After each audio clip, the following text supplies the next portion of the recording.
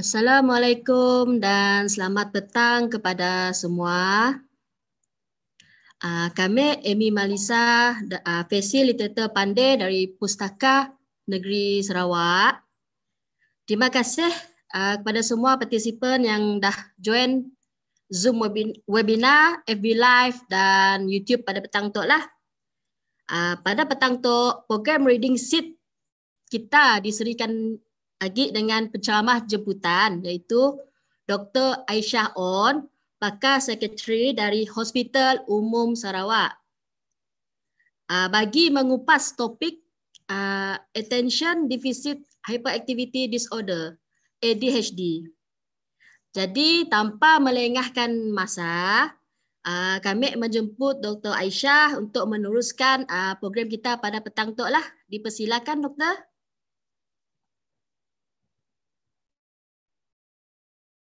Assalamualaikum warahmatullahi wabarakatuh.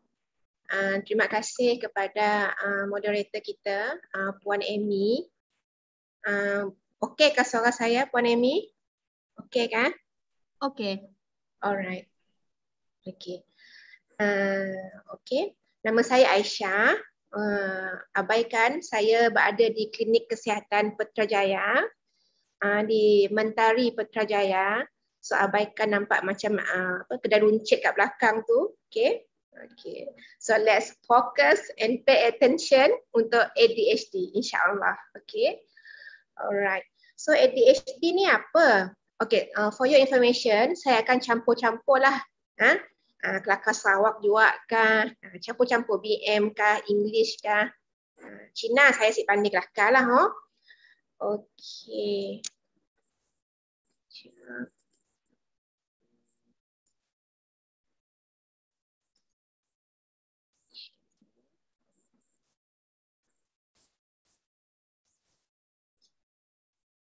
Okey.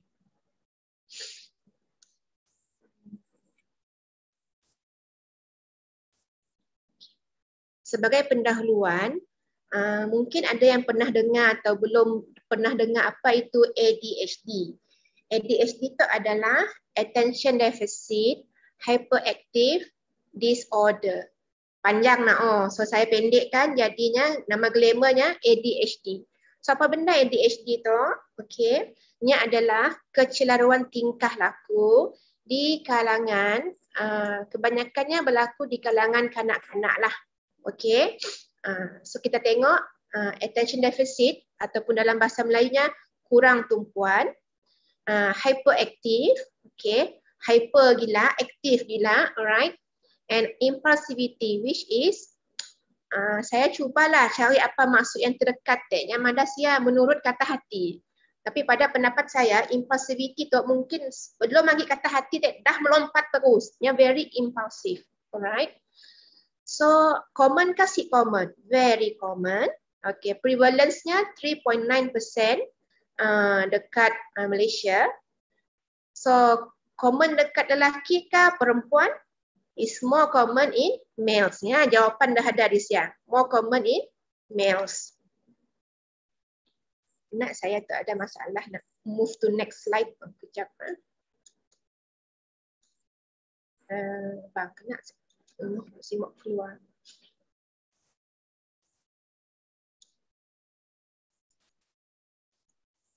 Okey. Okay, maaf ha. Stuck in the slide saya tak kurang bateri tak. Uh, Okey. So kita lihat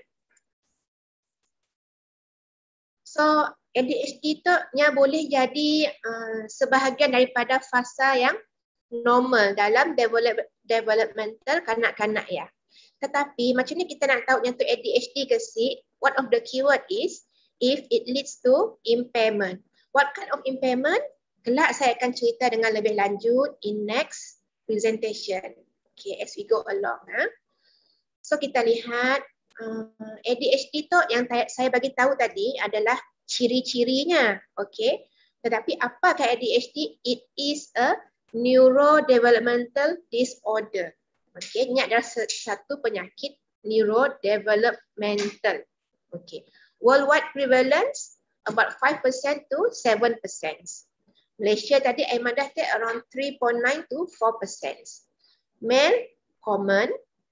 Uh, girls selalunya uh, kanak-kanak perempuan they present more as inattentive type rather than hyperactive. Jarang kita tengok uh, kanak-kanak perempuan tu hyper gila nak. But that doesn't mean they cannot have ADHD. They can have tapi inattentive type. So 60%, jangan terkejut, 60% if not treated, they can carry the symptom into sehingga tidak dewasa kelak. Uh, okay. So neurodevelopmental disorder itu apa? It is is associated with the functioning of neurological system and brain. So apakah contoh uh, neurodevelopmental disorder teh? One of it is ADHD, alright. Mungkin ada yang pernah dengar autism, okay. Intellectual disability ataupun uh, kalau dulu kita panggil mental retardation ataupun terancam akal lah, okay.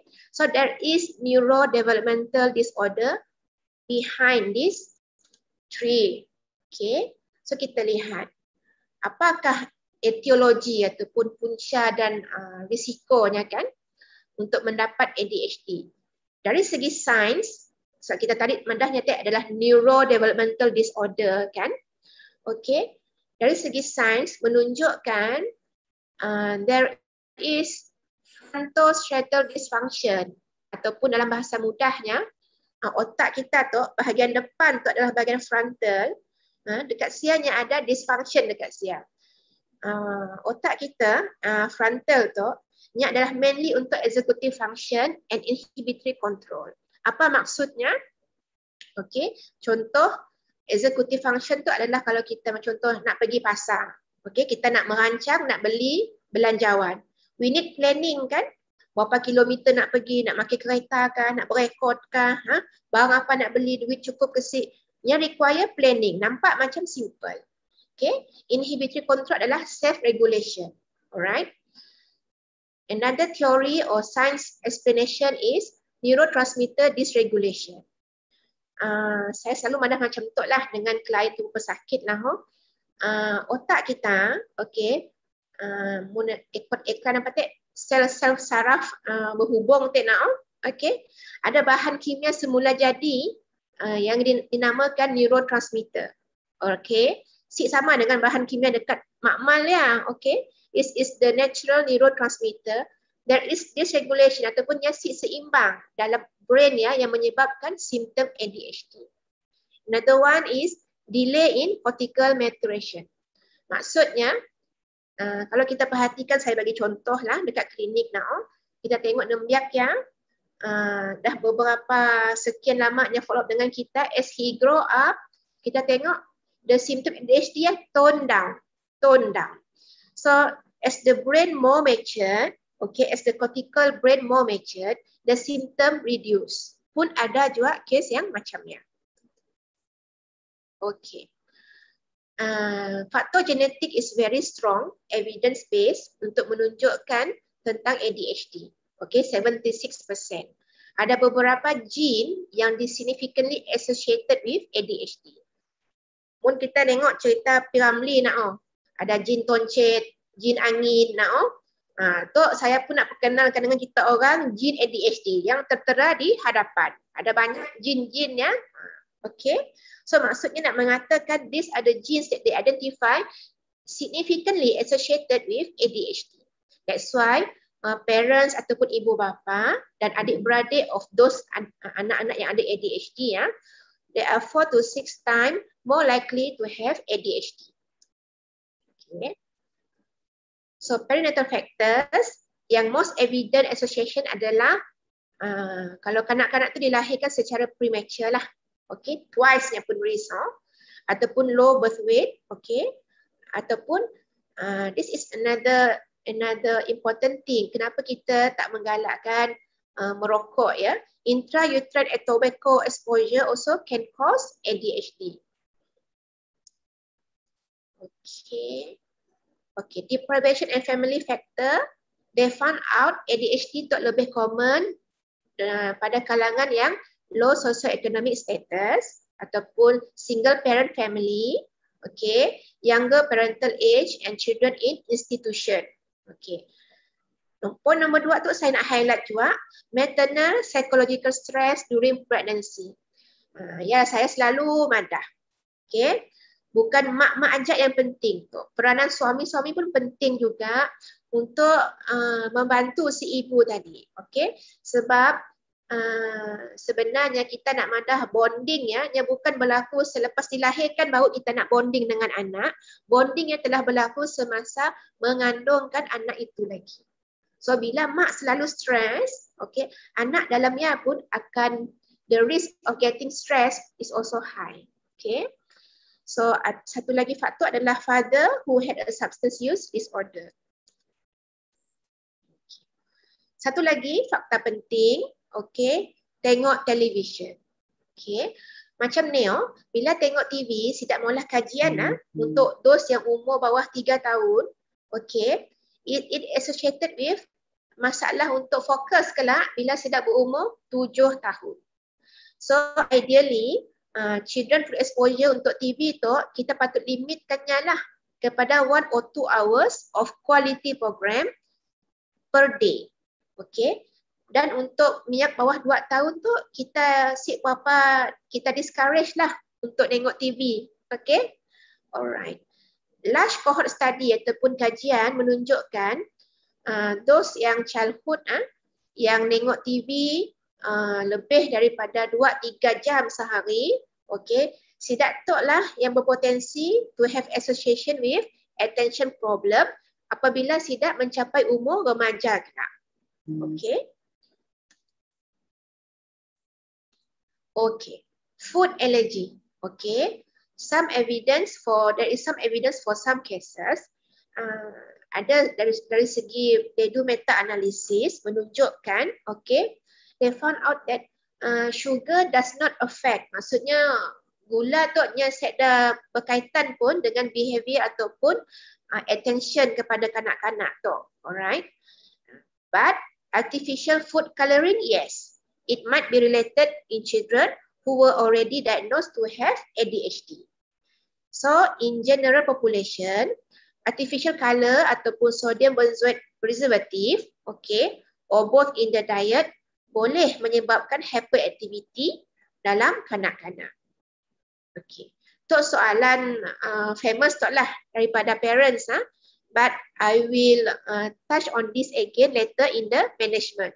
Okay. Computer games, they show no evidence uh, and environmental toxin pun inconclusive. Tapi kalau personal opinion saya nak, oh, kalau dah tengok TV pun there is evidence hmm, computer game ya, rasa-rasanya macam adik-beradik juga lah. Okay. So apakah simptom ataupun gejala ADHD tu? Ha, so kita mana tu kurang kurang fokus. Tok semua tok tengah fokus kah? Ha, saya cuma nampak muka Puan Amy ya tok nampak fokus benar Puan Amy tu. Okay. Ha, hyperactivity cuba tengok ya macam macam macam biasa aja berlaku nak oh. Aktiviti berekod-berekod dekat pasar ya. Oh. Ha. Impulsif, ya juga kita kelakar, ya juga kelakar. Nak tahu siapa nak dengar. Okey. Contoh, contoh. Okey. Untuk senario biasa oh, dekat klinik, okey. Satu keluarga enter bilik doktor. So, yang chief complain mata, uh, cikgu teacher says our boy our boy is hyperactive katanya Kian. Sebelum masuk klinik teh udah nyaman dah dengan anaknya teh. Ah kelak behave ha ibu berolah depan doktor ha. contoh contoh. Okey. Tapi nak madah sebab kita bercakap tentang neurodevelopmental disorder. Okey. Benda nak neurodevelopmental tu nya bukan dapat di ditahan-tahan. Okey? Sebabnya melibatkan saraf tadi kita dah, dah mention tadi kan? Bahagian frontal yang tadi kan? Neurotransmitternya kan? So you, if you see the picture nampak tak the boy ya kakinya saya pun stop macam ni kakinya kah? Si dapat di silat silat laju benda ya kah laju gila kakinya nak oh nak madah si dapat kakinya duduk diam alright uh, cikgu dekat siap mungkin dah mana kata kita lah si anak oh saya dah mandah pay attention pay attention but you see the boy is struggling to to remain to remain calm and remain seated dekat siang. Okay. Tok pun satu uh, senario biasa dalam klinik. Uh. Gagal juga mak tek kelakar dengan dengan uh, kita. Anak yang gagal juga dekat belakang. Uh, belumnya lagi punya main naik kah. Uh. Sambil saya bercakap, saya ADHD juga olehnya. Nenda, habis kita pun cop ditekannya, dimainnya, telefon kita nak diambilnya. Jadi boleh nampak oh, mak yang stres. Mak yang sangat stres sebab dia je nak kelakar dengan doktor, ya juga nak ngibun anaknya naik pacing up and down dalam klinik. Okay. So let's see ya, apa diagnostic kriteria untuk uh, ADHD. Okay. So before kita arrive at official diagnosis, symptom must be present before age 12. Okay. Ataupun nombor dua, it must be present in multiple setting. Okay. Sama yang mesti mu dekat rumah macamnya, dekat sekolah pun macamnya. Barutnya teli. Alright. Kadang-kadang nembiak tu dekat sekolah, okeynya. Ah ha, dekat rumah yang berolah gila. Okay. Ha, then ia si teli lah. Because it must be consistent in at least two setting. Okay. And benda uh, symptomnya, symptom tu yang interfere uh, with or reduce daily functioning and it cannot be explained by another mental health condition. Okay. Tok contoh ha. Tok biasa jugalah uh, senario yang kita biasa lihat lah ha. Okay. So you rasa pun dah berdekit, dah berpusing sama salt macam ni. What do you think the parent will do next if this happen in your clinic? Saya rasanya apa sih tak maulah. Saya tekak loh Ah, selalunya akan bagi telefon lah. Okay. Nyuruh kuai-kuai lah. Nyuruh diam-diam lah. Okay. So, sidakkan madah. Ah, ya tu. Ah, anak saya duduk diam di rumah, doktor. Cikgu madah nyatuk si dok diam di sekolah. Tapi di rumah okey jatnya. Ah, nak madah, nak share sikit. Ah. Sign of the disorder, ADHD, ah, it can be minimized. Apabila uh, kanak-kanak ya yang menerima uh, frequent reward for appropriate behavior. Contoh ah contoh. Uh, kalau nya uh, has consistent external stimulation. Contoh uh, kalau nya sentiasa ajak megang telefon. Of course sebab main telefon tu nya very seronok kan dalam ya. So kita si sempat dah nak tengoknya ADHD dek. Okay, sebab ADHD they are very hyperactive. Okay, they cannot focus uh, kepada benda yang susah. Tapi untuk game is very fast, very quick. So they like it so much. Alright. Ataupun kalau interact in one to one session. Contoh nak kita tengok. Uh, that's why kalau uh, uh, apa uh, pesakit ataupun kanak-kanak dibawa kepada kita nak kita akan minta report sekolah. Uh, depan kita mungkin nampak diam sebab ada telefon dek. Okay. So banyak soalan ditanya kepada uh, saya lah pengalaman saya oh, doktor kena nembiak tu uh, bila di sekolah si mau belajar si dapat fokus tapi main game. Ya Rabi pagi sampai ke malam tahan doktor. Macam ni mandahnya si fokus. Fokus gilanya doktor. Yes correct. I think i've explained this. Okay ADHD they like very fast things. Cuba kita tengok apa game dimainnya. Mesti game yang sangat cepat Okay. Set dalam nak main, nak kena slow, melo, macam masih tahan. They need something very fast to to stimulate them. Okay. Okay. Cubalah. Cuba kita mandah dengannya. Ambil telefon ya. Ha, cuba you please copy this page. Ha. Selalunya memang akan tidak rasa sangat susah lah. Because nak copy one page ya. Nya require focus kan. They need to focus salah satu komplain kelak sidakkan madah uh, kanak-kanak tu cikgu uh, nya tu selalu cikgunya madah si sempat nyalin. Okay this is also one of the uh, chief complaint. So i go to the gejala ataupun simptom uh, untuk kurang tumpuan okay ada sembilan simptom. Ada sembilan simptom Okey, kalau ada pensel, cik, kalau ada pensel boleh tik kalau rasa-rasa. Ah, saya madah adik 60% boleh berterusan kepada adult ah ha? ni tahu Uh, di antara kita tu ada yang ada ADHD. Okay. First, yang banyak melakukan kesilapan dalam kerja sekolah. Kesilapan yang macam uh, simple mistake je pun. Okay. Uh, nombor dua, yang mempunyai masalah untuk mengatur aktiviti sekolah. Contohlah jadualnya. Okay. Hari Isnin apa, hari Selasa apa pun kelam kelibut. Okay. Nombor tiga, seringnya hilang barang uh, yang selalu dipakainya di rumah ke atau di sekolah. Nak ala-ala uh, ada parents complain lah. Nak tahu ke saya tu doktor, uh, barang dibeli aku mula satu kedai dah dibeli. Hilang juga. okay. Alright. Uh, nombor empat, they cannot uh, complete their task. Nombor lima, yang si dapat beri perhatian kepada orang yang bercakap dengannya. Ya gitu. Bila si dapat beri perhatian kepada orang yang bercakap dengannya, mulalah kita akan melabelnya sebagai uh, degil. Kan? Uh, degil lah, nakal lah, si beri perhatian. It's not that they don't want to give attention, they can't. They can't. Nombor enam, they cannot, uh, dia tak berupaya mematuhi arahan. Okay sebab yang saya galakkan untuk kanak-kanak yang ada ADHD, how we can help them, kita bagi peraturan tu, bagi peraturan yang simple, simplify kan. Okay. Contoh, contoh. Uh, uh, saya bagi nama uh, Ali lah, contoh Ali ya. Ali pulang sekolah. Okay, jadi saya tak mata uh, Ali, Ali dah pulang sekolah ha. Okey. Susun uh, susunkan kasut, okey, mandi, uh, tukar baju, lepas ya uh, makan, lepas cuci pinggan. Nampak? Banyak arahan kan? Confirm nak dipolahnya adalah makan aja kelak. Jangan kita terkejut sebab ambil nak ujung ajak tek. Makan aja lah. Ha? Nak susun kasut kah, nak mandi kah, si ada. Skip. Because their brain cannot detect that. So we make it simplify. Okay. Ali, susun kasut. Dah tak kah? Ha, kena sabarlah, sabar ngikut pace nak. Oh. Then baru next, next. Okay.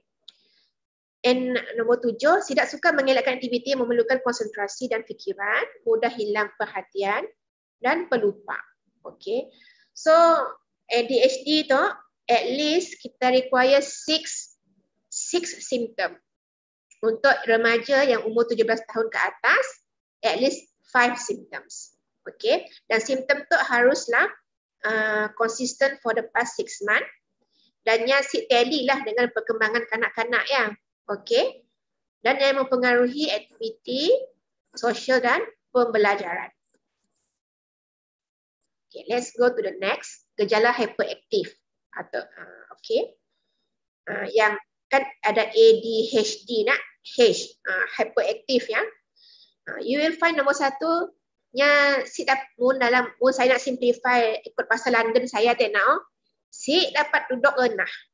Si dapat duduk renah. Nak tergoyang-goyang tangan tergoyang-goyang kaki nang macam cacing kepanasan. Alright?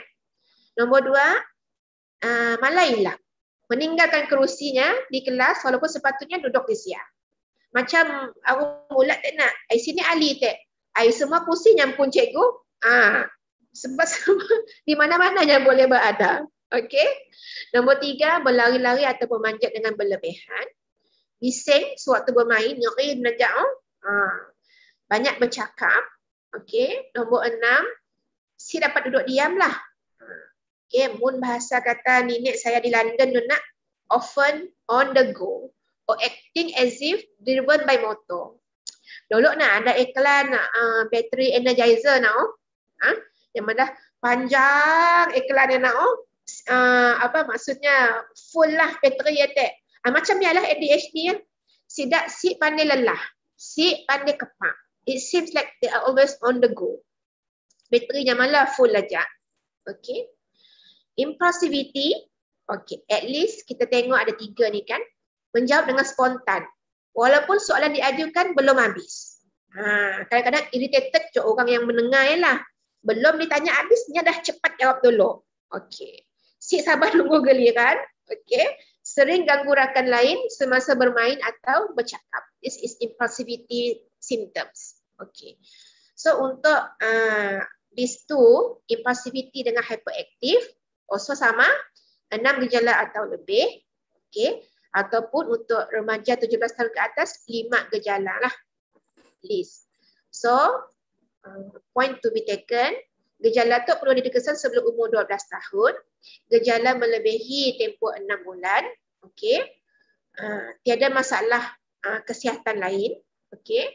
Dan perubahan tu, is very important. Uh, perubahan untuk menimbulkan masalah kepada kanak-kanak di sekolah dengan rakan-rakan dan kehidupan seharian.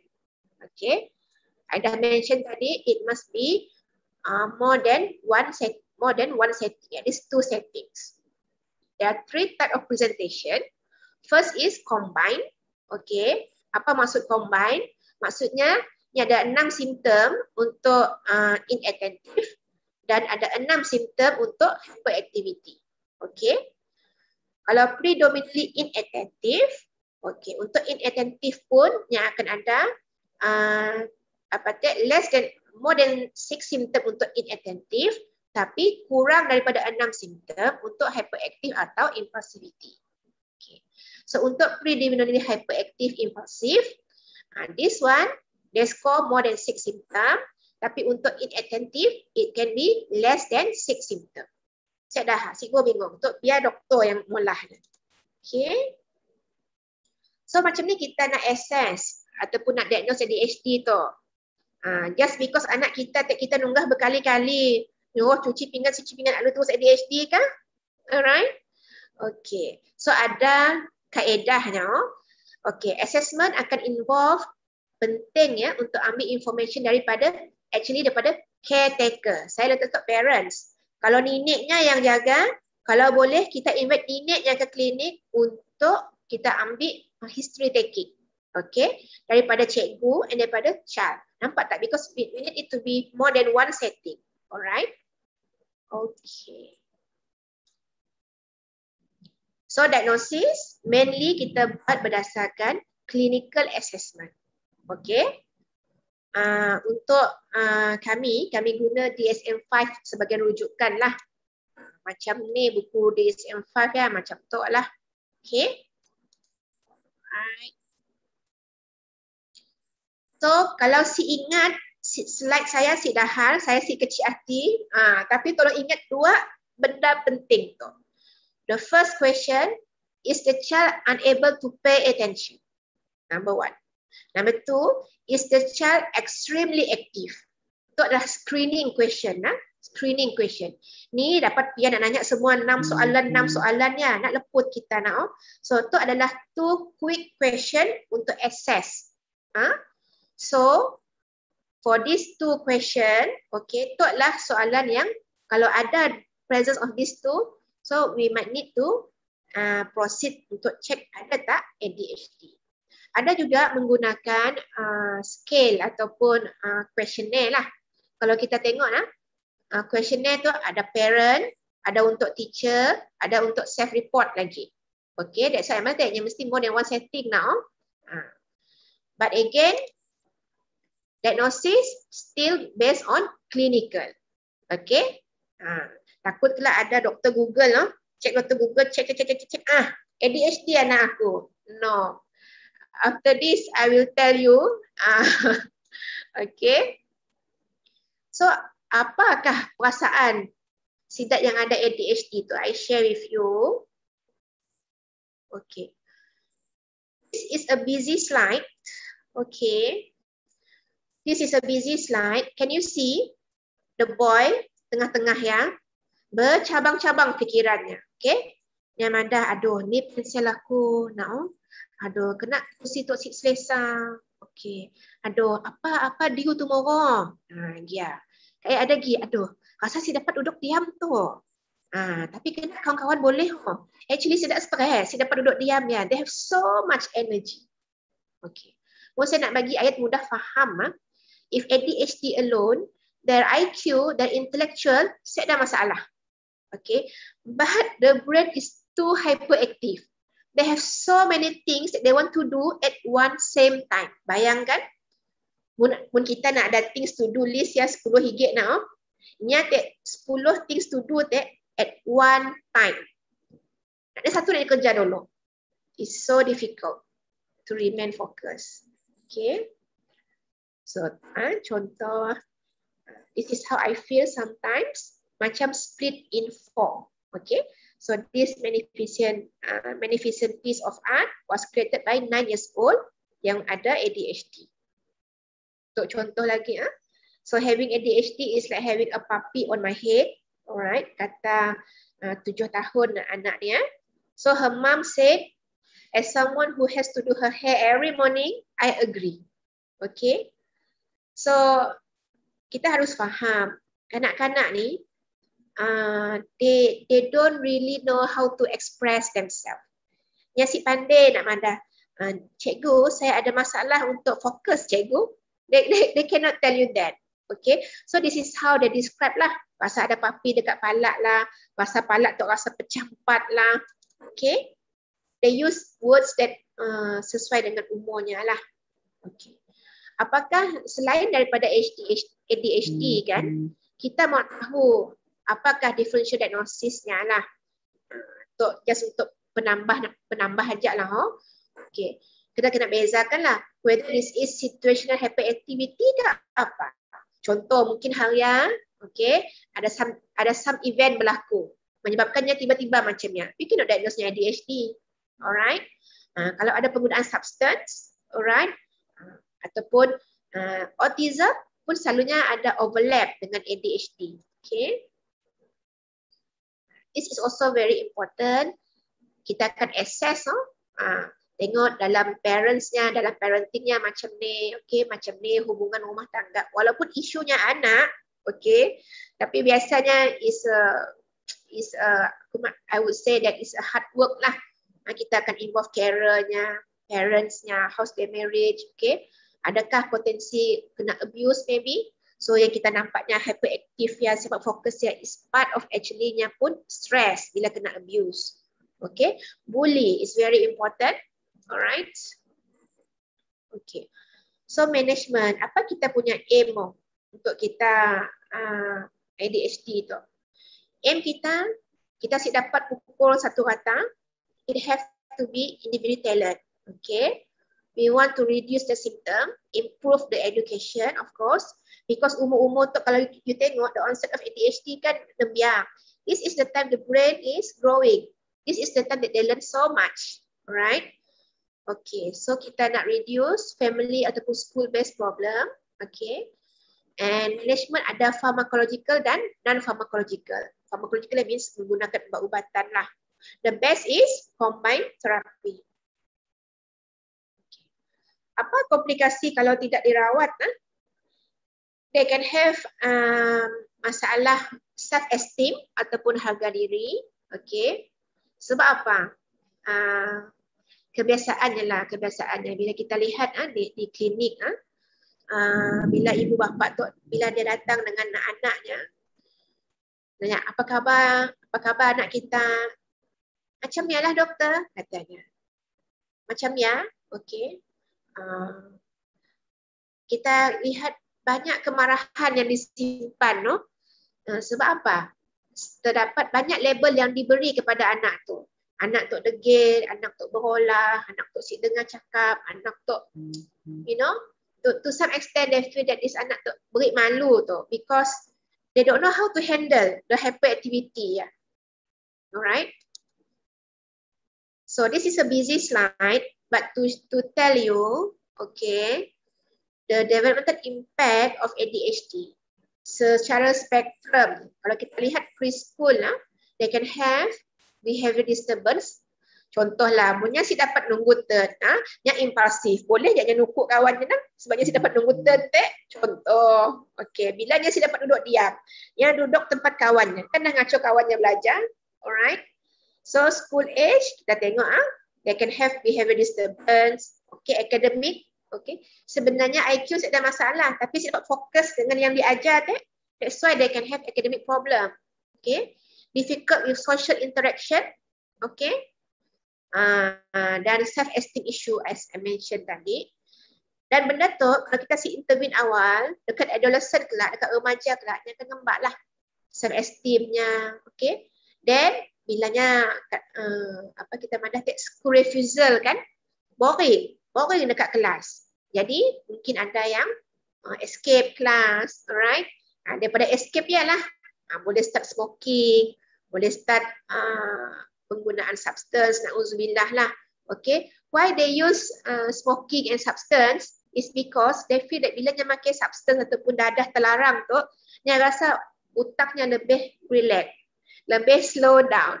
Okay, kan I mendati ada hyperactivity, alright, the mind is very very full. Okay, sometimes they use substance to self-medicate themselves. Okay, dan kalau kita si bendung kan benda tu, yang boleh terombak-ombak lah uh, untuk uh, pekerjaannya. Okay, they can involve in accident because of impulsivity tadi.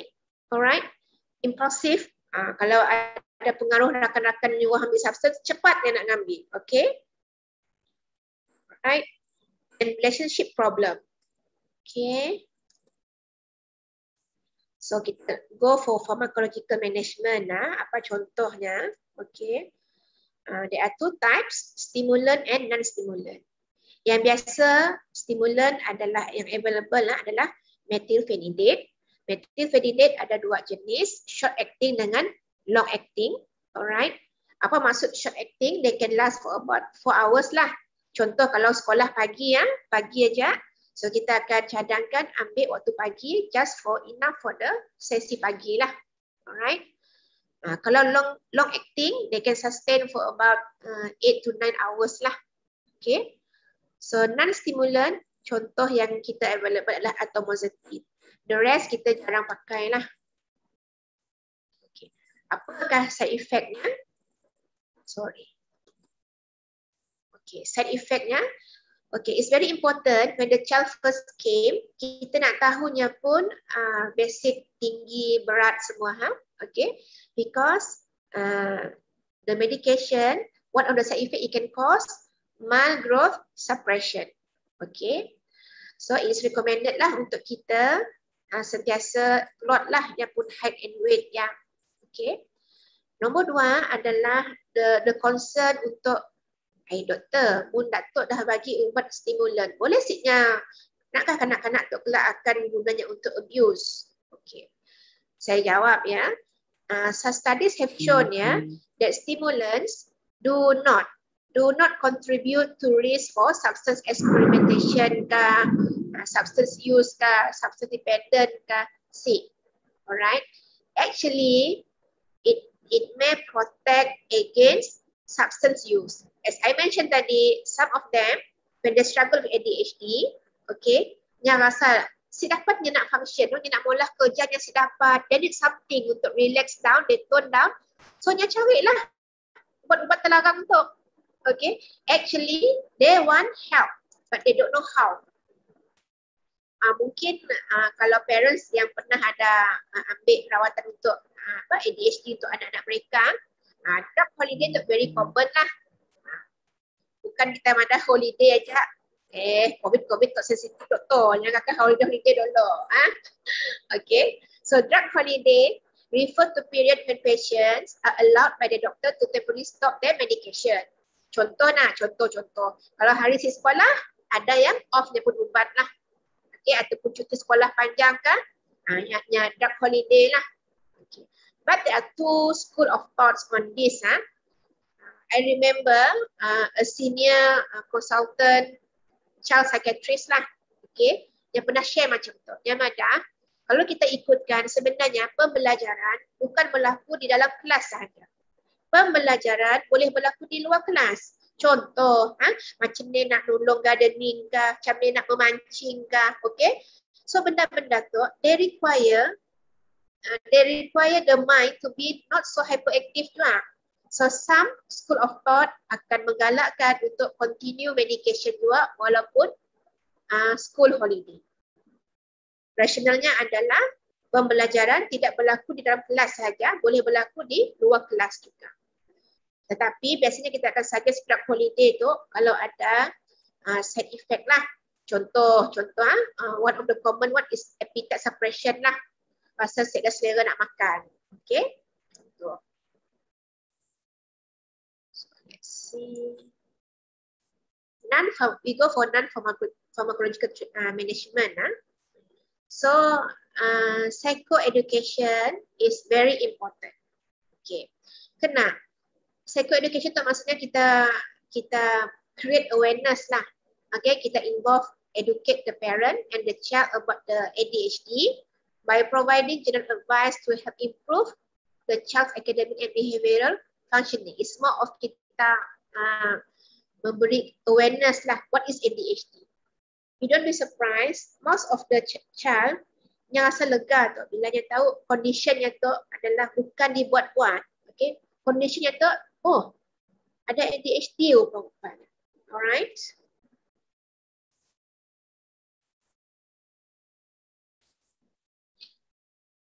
Next, occupational therapy uh, biasanya kita rujuk juga kepada juru pulih cara kerja ataupun occupational therapist. Ada di hospital, ada juga di klinik kesihatan. Mainly untuk attention skill lah. Uh, fine motor, fine motor ni macam bila nak menulis kan. Uh, memerlukan fine motor. Sensory integration. Okay.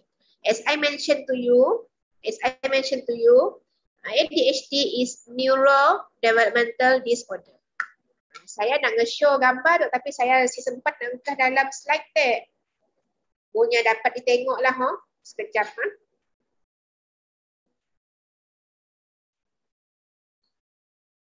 Boleh nampak kah? Saya tunjuk tu. Nampak? Okey. Tu adalah sarung tangan. Baru ajak saya tengok lah penggambaran filem semalam. Okay. Sebab saya nak feel sendiri macam ni rasa jadi ADHD. Saya pernah pergi ADHD workshop. Okay. Dan penceramah tu uh, dia she's an occupational therapist lah. So dia share kalau cuba you try pakai uh, glove yang latex ya yang getah eh. You pakailah 10 lapisan kah. Okay. You you sarungkan. You sarungkan.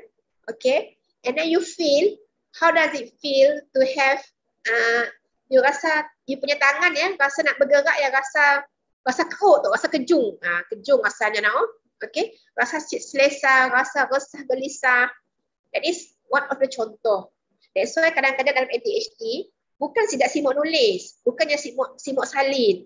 Okay bukannya simuk nak mula kerja rumah.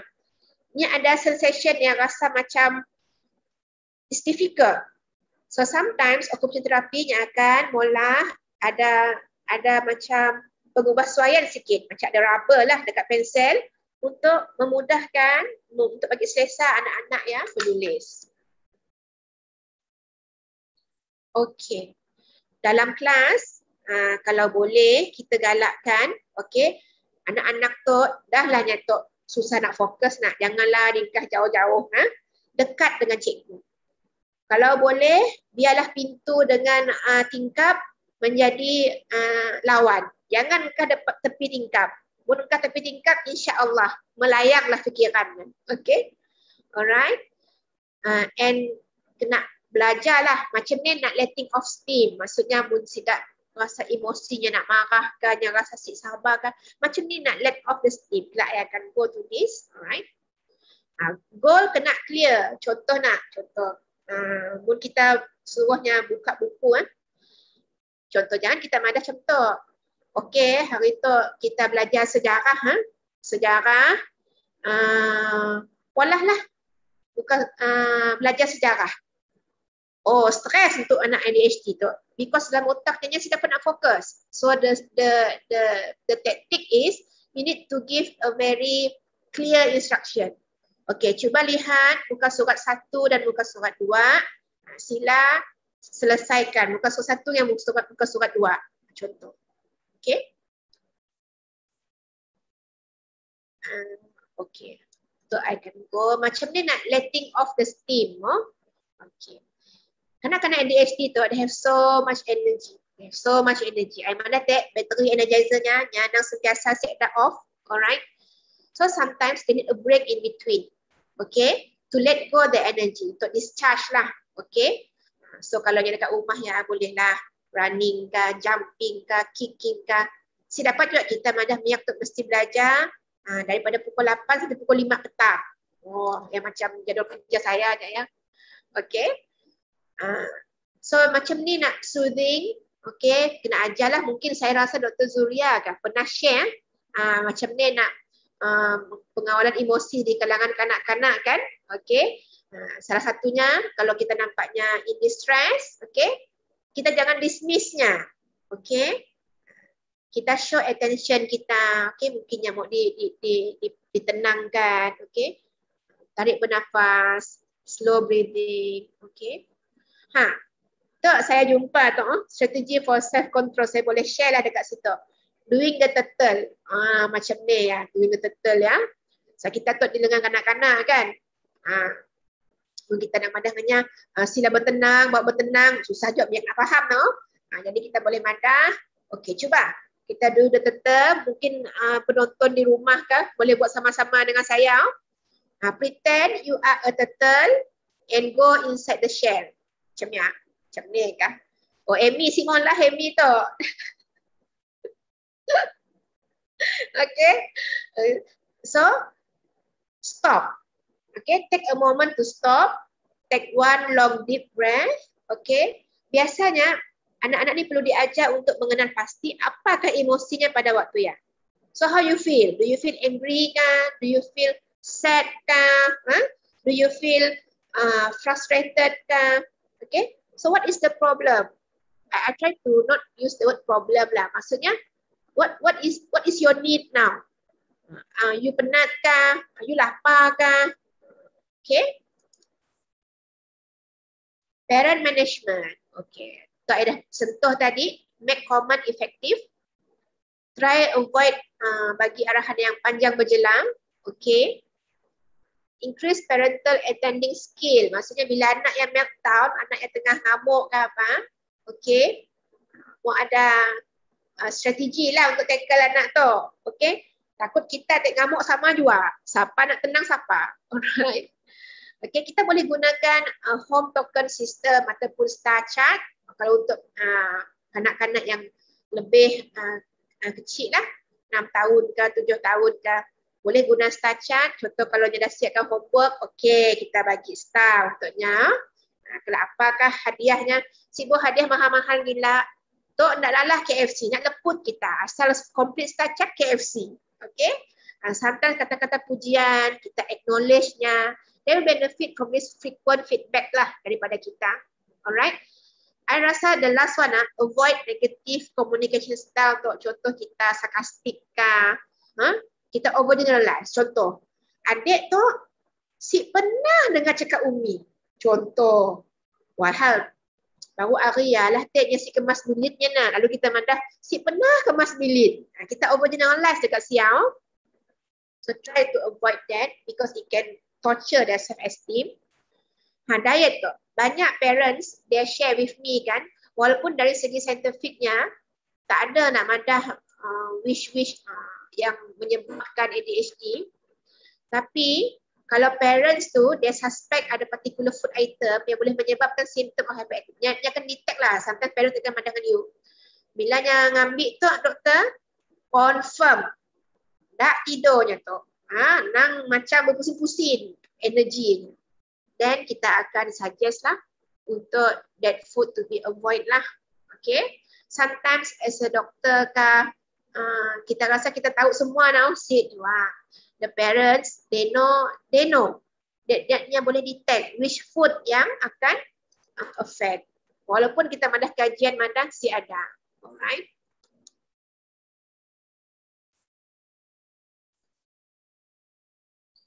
Okay. Uh, kadang-kadang, especially yang uh, exam time, okay, untuk ADHD tu, sometimes kita boleh deal lah dengan education department untuk extra time for paper kah okay?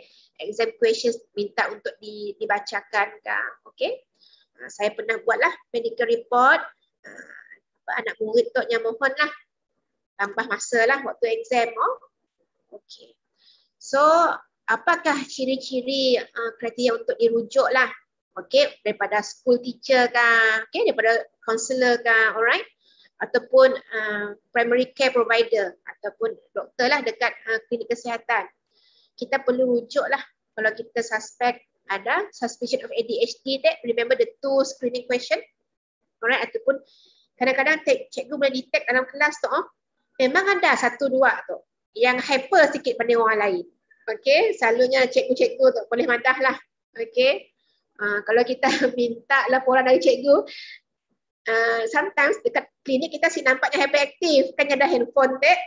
Bila kita tengok nyampun uh, uh, laporan daripada cikgu tek, hmm, it does fulfill lah. Cikgu sejarah sama, cikgu sains sama, cikgu geografi sama, tally je semua cerita. Okay. Okay, how to refer? Uh, ada few channel lah. Boleh refer kepada klinik kesihatan. Okay, boleh refer kepada private juga. Kalau private akan refer kepada klinik uh, pediatrik. Uh, ADHD can be seen by doktor kanak-kanak, doktor pediatrik atau doktor psikiatri lah. Okay. Uh, kami nak promote juga deh Pusat Kesihatan Mental Masyarakat ataupun Mentari Putrajaya. But we we tackle for adult lah. Okay. Uh, kita tak sangat untuk kanak-kanak. Tapi you can still refer to klinik kesihatan yang berdekatan lah. Pun dekat uh, pustaka tu sini lah. KKPJ lah nak. Alright. So, klinik psikiatri, Hospital Umum Sarawak and klinik psikiatri Hospital Sentosa. Hospital Sentosa ni adalah institution, they don't cater for for children so much lah. I'm talking into uh, general punya kalau ada uh, mental health issues lah di kalangan adult ke. So these are the tempat-tempat yang kita boleh rujuk.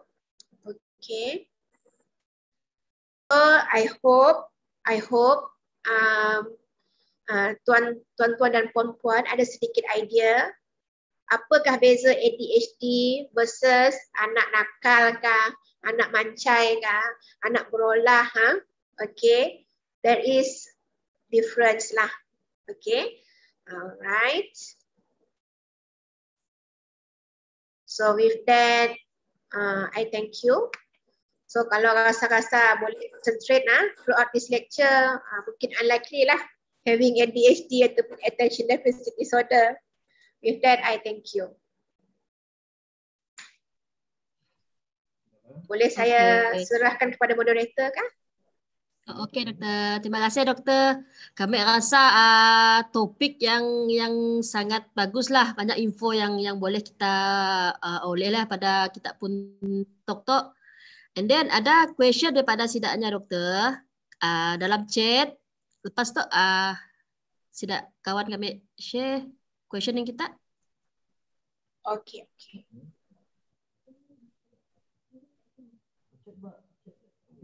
Pergi chat chat Zoom kita doktor. Ha?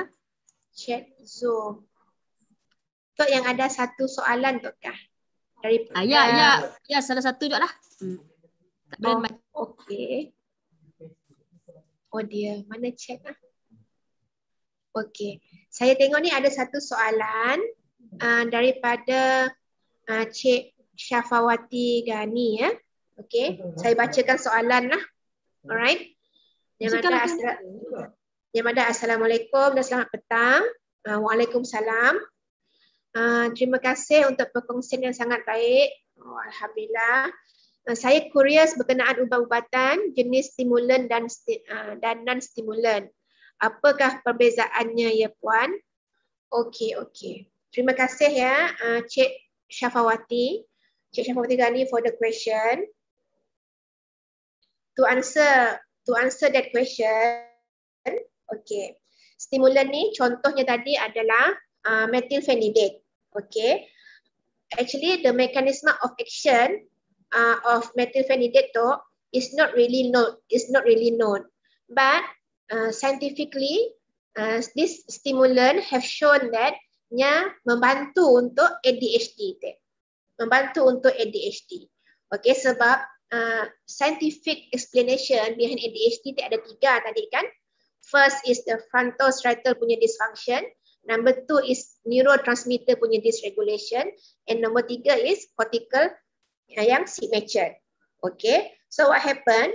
Uh, methylphenidate tu yang akan binding dekat uh, yang akan bantu untuk regulate ataupun seimbangkan neurotransmitter in the brain. Okay. Which neurotransmitter? Okay, there are few neurotransmitter yang dikatakan berkaitan dengan uh, ADHD. One of it is uh, dopamine lah. Okay, dopamine. So, Uh, that is where stimulan ataupun methylphenidate yang ada dekat Malaysia uh, membantu untuk ADHD. I hope I answer that question lah. Okay. Yang non-stimulan, okay, contoh non-stimulan tu ada beberapa. One of it is uh, atomoxetine.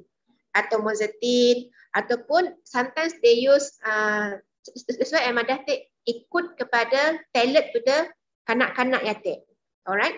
Kalau katakanlah dengan uh, biasanya the first line is kita akan guna uh, stimulan lah.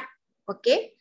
Tapi contoh kalau dengan stimulan nyasi dapat dengan methylphenidate nyasi dapat.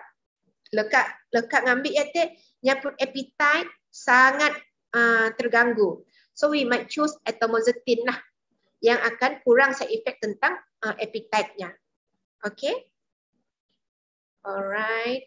Uh, the principle behind is sama juga to regulate the neurotransmitter. Sebab kalau kita lihat sel pada atomoxetine, we can use antidepressant juga. Kalau katalah uh, kanak-kanak tu, they can have both ADHD and some amount of anxiety or depression. So we need to treat that juga lah. Okay. Uh, daripada Yuso, Encik Yusopian. Okay. Uh, pukul 2.54 yang mana Assalamualaikum doktor. Kami jawab dulu lah. Waalaikumsalam. Okay.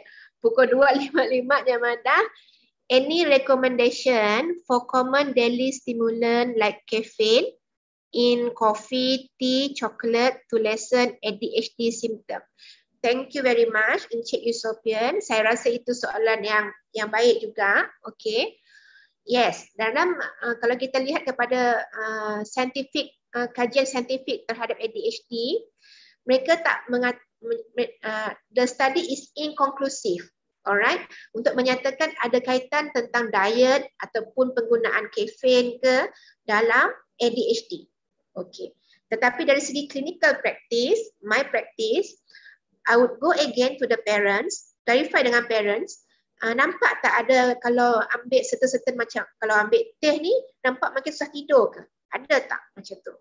Kalau dia kata ada, then kita suggest untuk uh, reduce or elakkan kafein lah.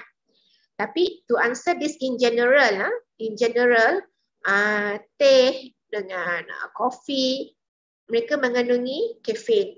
Kafein, apa kafein akan buat? Dia akan stimulate uh, you punya heart rate, you akan degupan jantung akan lebih laju, you punya mata akan terbuka lebih luas, okay? So memang dia akan susah untuk tidur lah. Budak ADHD ni memang, memang dah ada susah tidur dah.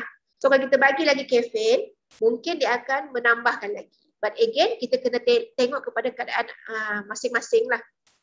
Alright. Coklat ke apa ke, uh, uh, apa suplemen ke apa ke, there's no conclusive data so far. Kan nanti kita biasa dengar nak omandah nak, eh, nya lekatnya makan gula batu ke, ha, halulah sugar rush ya doktor. No? okay even that they don't find uh, any uh, berdasarkan kajian-kajian yang ada kan tak ada yang madah oh confirm coklat tu nyuruhnya anak nun ADHD makin terus si ada juga kok uh, but again tengok kepada pengalaman uh, kepada yang uh, pengalaman parents masing-masing lah with the child okay shall we go to the next one Encik uh, Christopher David Uh, selamat petang. Uh, selamat petang Cik Christopher. Dia kata terima kasih berkongsi atas tajuk yang menarik. Adakah ADHD ini berkaitan dengan skizofrenia sekiranya tidak dirawat dan berlanjutan sehingga ke usia dewasa? Okey, terima kasih Encik Christopher. Okey, soalan Encik Christopher ni higher level sikit. Ha? Dia dah tahu satu satu penyakit skizofrenia. Okey.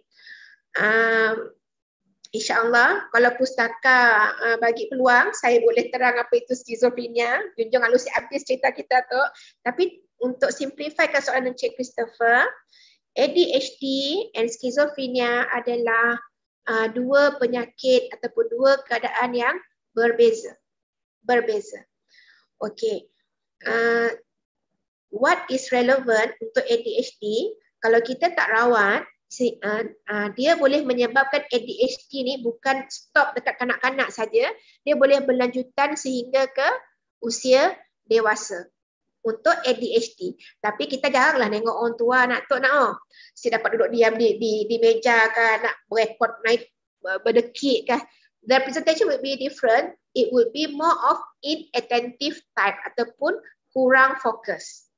Okay. So walaupun they share the same uh, kita saya sebab skizofrenia disebabkan oleh dopamin yang bercelaru juga, neurotransmitter yang bercelaru juga. But their uh, schizophrenia and ADHD adalah dua penyakit yang berbeza. Treatment pun berbeza. Presentation berbeza. Okay. Saya sentuh sikit, saya sentuh sikit uh, stimulan, stimulan uh, methylphenidate. Okay. Sometimes it can cause uh, gejala-gejala halusinasi. It can, it can. So that's why before kita uh, counsel for medication, kita akan terangkanlah what are the possible side effect. Okay. Tapi so far pengalaman saya yang ciput ni lah, yang ciput ni saja kan. Uh, tak ada lagi lah yang start on methylphenidate tapi having psychotic symptoms. Tak ada.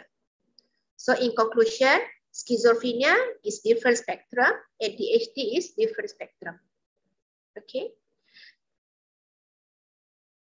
Ada soalan lagi ke? Dalam dalam chat doktor ada question. No, no. Sini nak chat. Hmm. Di bawah, di bawah ya. Sebelah Q&A. Uh, sebelah Q&A. Ha. Banyak sebelah question dari kita. Ada lagi aku buka nak tu. QMA 6971 sudah dekat ke Canada sekarang ke. Alamak. Sekejap ya. Tolong bang.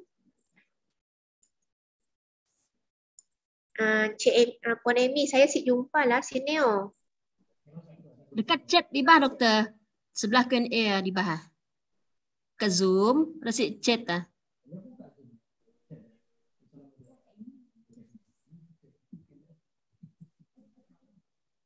Ada sih. Mesti kami baca untuk kita lah. Ah, boleh cepat lah. Duh, lu bercerau dah slide aku tu. Okey, uh, Minta maaf mas, saya tak bawa beginner tak apa, beginner Zoom. Okay. Ada ada uh, sidak bertanya daripada Mary anak Wilfred. Okay. Berapa CPD point untuk CME ini? Oh. CPD point. CPD point. Tok kena tanya uh, Cik Mary, terima kasih untuk soalan itu. Tok kena bertanya dengan uh, Cik M, apa? Uh, moderator lah. Ada bagi point ke you? Eh? CPD point. Selalunya bila kita attend uh, apa macam uh, CME ke ataupun lecture macam tu nak. Selalunya ada CPD oh. point lah. Ah, okay, okay. lah kalau pustaka ada mengambil mengamalkan sistem point-point sih. Okay, kita first connect a question lah. Uh, adakah simptom ADHD ini akan kekal pada seseorang kanak-kanak itu sampai dia membesar daripada Liza Jamil. Okey, terima kasih uh, puan puan Liza Jamil. Ya Rabi, saya baru nemu tu. Banyak juga soalan kejap ah. Ha, rangkalah sedekah. Kejap ah. Astagfirullahalazim. Oh, banyak kilat dah chat hilang saya yuk. Uh, Liza Jamil ada satu. Sorry, uh, okay, lah, ha. saya jawab dulu. Ha. Saya saya saya overwhelmed tak tengok chat banyak banyak gila. okay. Uh, the, the question is, adakah ADHD itu akan oh, berterusan hingga ke dewasa? Kalau tidak dirawat. Is it the question? Uh, uh, ada lagi. Ah, okay, okay from Liza Jamil. No? Adakah simptom ADHD ini akan kekal pada seseorang kanak-kanak itu sampai dia membesar? Okay, thank you very much. Very good question, uh, Puan Liza. Okay, this is very individual. Uh, sangat depends kepada individual itu sendirilah. Okay, sebab Aida Mandah tadi, one of the reason, one of the science uh, explanation behind ADHD adalah uh, cortical-nya uh, symmetric some part of the brain is not matured. So that's why I'm dengan you. There are cases, there are cases yang as as the as the child grow up, their ADHD reduce, reducing, reducing sampailah ke satu point yang nya bila nya dah stop medication ya, nya okey. Si ada lagi nya pun difficulty untuk concentration. Okay. But there are cases juga, there are cases juga bila uh, kita try to taper down ataupun si, si ambil rawatan ya kan, uh, the the parents can see the change of ADHD getting more and getting more lah. That means nya pun brain ya, the, maybe the neurotransmitter ka, uh, si dapat bila kita take off the the treatment. Okay. Uh, for your information, uh, saya saya ada tengok satu uh, uh, apa nama dah dek satu seorang pesakit uh, who who is a, a doktor pelatih lah doktor pelatih. So don't be surprised uh, banyak juga orang yang medical field they they are not sure what is ADHD. So nya uh, nya di refer kepada saya. So the first thing yang ada dengan saya, uh, doktor, saya rasa saya ada ADHD ya doktor. Daripada kecil yang ada, saya memang ada masalah untuk fokus. Saya uh, resultnya semua bagus, tapi behind behind that ah, he really works hard. Yang selalu ketinggalan bila dia nyalin ke depan nak dia selalu ketinggalan. Okay, uh, maknya terpaksa bertanya dengan cikgunya, apakah soalan ini sebab anda kasi sempat salin. Okay, dan dia susah nak nak remember details. That's why Nyamada susahnya nak belajar awal-awal, confirm lupa. So dia terpaksa put extra time to to learn. Okay. So yeah, dari kecil saya pernah ada rawatan ADHD. Bila dia datang menjumpa saya umur dah dah, dah puluhan kan masuk dalam uh, apa apa doktor pelatih. Saya startnya dengan uh, dengan medication untuk ADHD. Alhamdulillah, he can sense the different. Bila dia ambil rawatan, he can sense the different. Uh, doktor yang ada, saya boleh lebih fokus kalau tak before tu macam semua benda jumble up in the in the mind si tahu ada satu nak diagak dulu semua rasa semua sama penting waktu ya okay i hope that answer the question lah it very depends on the individual okay hmm. ada lagi soalan ke cik uh, puan Amy ada ada doktor ada ada ada masih ada dalam chat ya banyak question. Hmm. Apa sih? Baca kita? Oh boleh kita baca juga lah. Okay. Uh, daripada Nolida binti Mahidin, doktor, adakah kelas yang mempunyai dinding yang dicat dengan pelbagai warna mempengaruhi kanak-kanak ADHD? I see.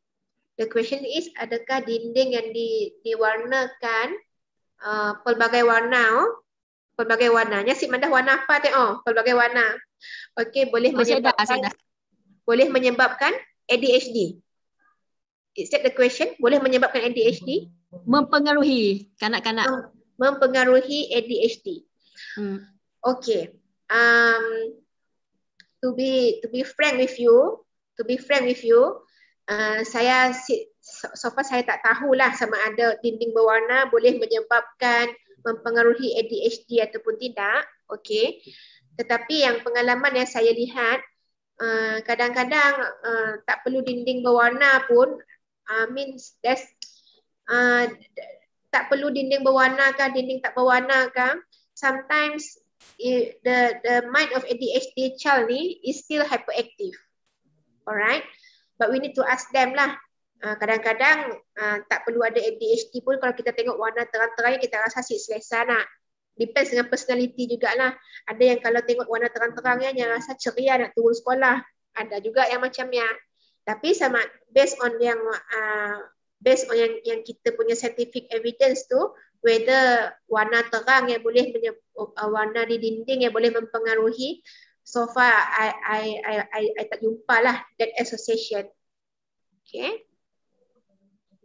Kalau saya ada jumpa association, saya boleh update kepada Puan Amy lah. Ha? I need to check back on that. Alright. Okay. Uh, ada lagi question tu doktor. Okay. Daripada Rose O dari Facebook ah.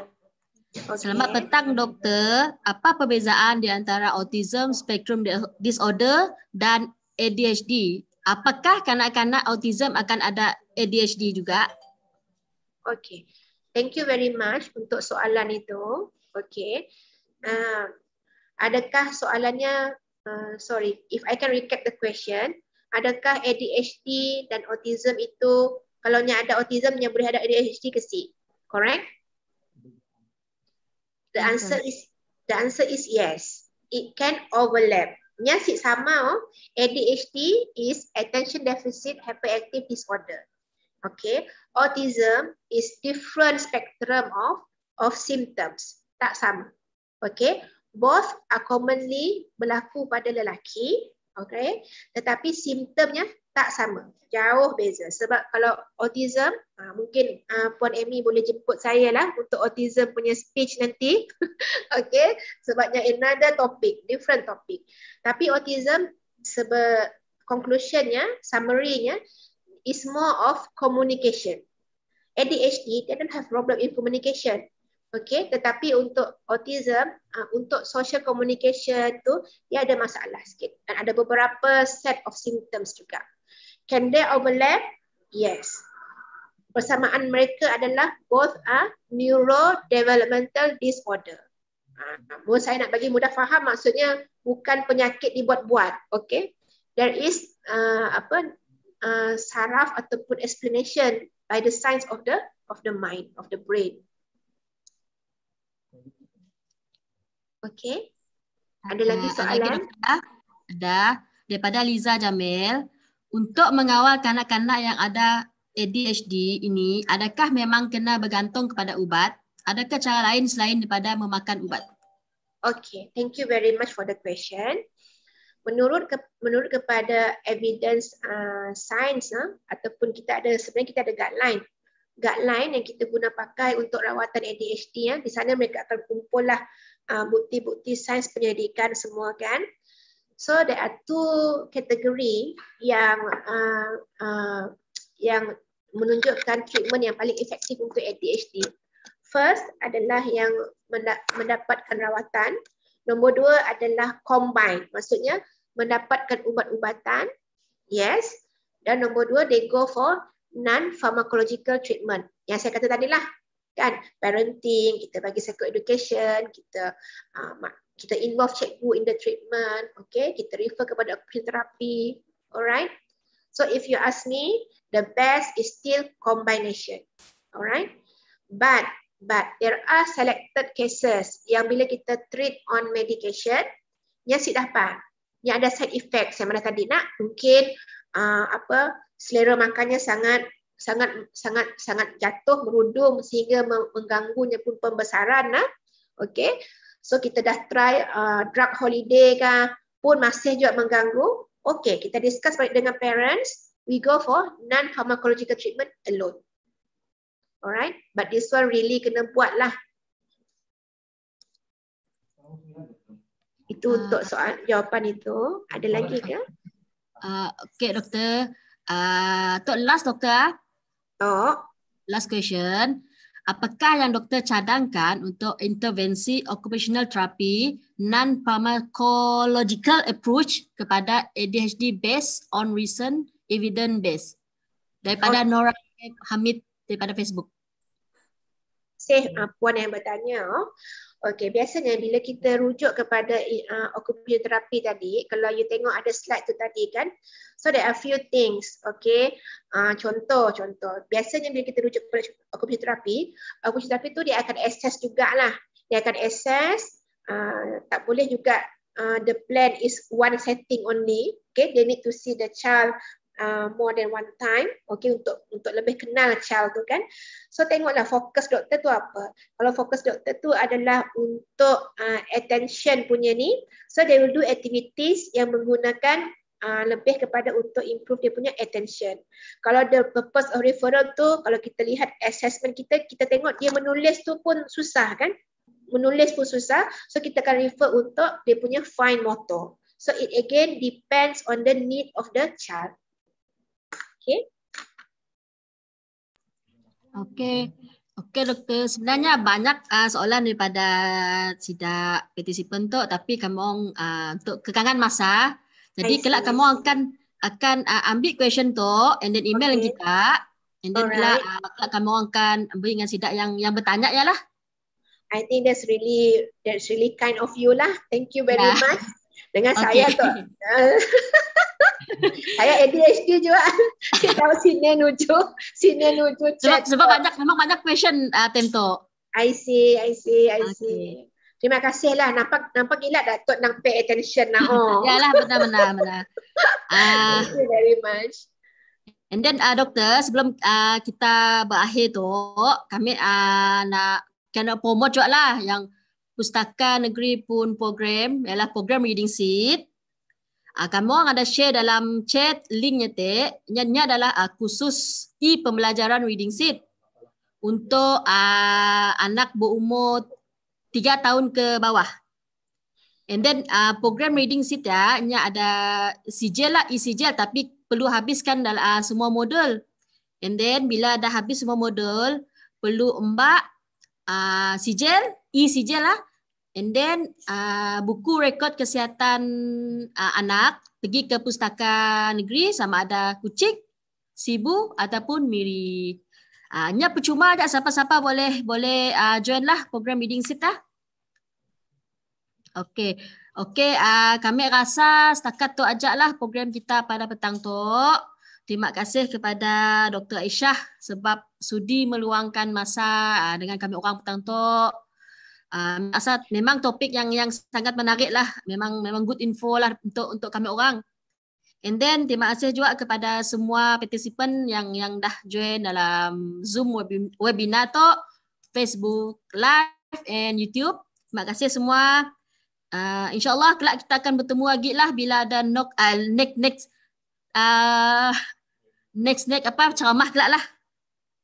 InsyaAllah. Terima kasih juga kerana menjemput uh, saya lah. Okey. Kelak soalan, kelak you pass dengan I lah. Huh? Uh, boleh boleh kelak kami email Okay. by, by email kita lah apa semua soalan. Okey, okey, okey. Okey, terima kasih. Terima kasih doktor. Terima kasih semua. Okey, terima kasih. Bye-bye. Okay. Sampai jumpa lagi. InsyaAllah. Terima kasih semua peserta.